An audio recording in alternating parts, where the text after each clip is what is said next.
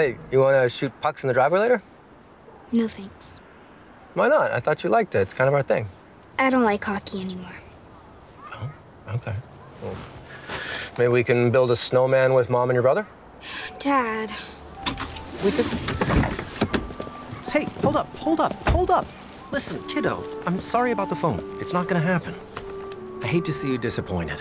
Look, I know that this year is a little bit different, but you can still have a good Christmas. What about you? I always have a good Christmas.